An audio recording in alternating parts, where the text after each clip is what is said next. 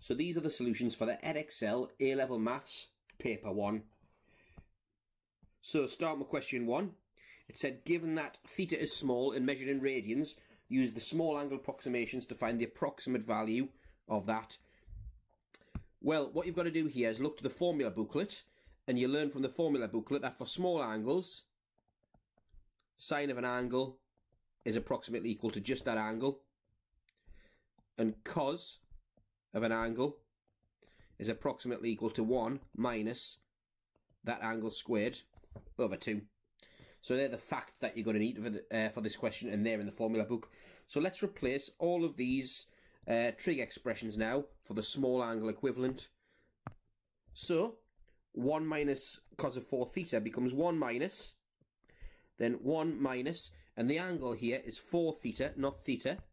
So it becomes 1 minus 4 theta squared over 2. And that's all over 2 theta. And times the sine of 3 theta. Well, sine theta becomes theta. So sine of 3 theta becomes 3 theta. So 2 theta times 3 theta.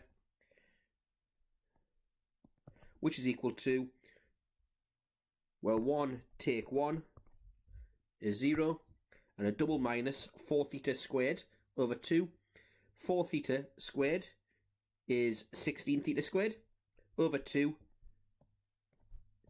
So 16 theta squared over 2 is 8 theta squared over 6 theta squared equals, so the theta squareds cancel to give 8 over 6 which is 4 thirds. So that's question one. For more videos like this, subscribe to our YouTube channel, and to find out more about our Skype tuition and revision courses, go to alevelmathsrevision.com.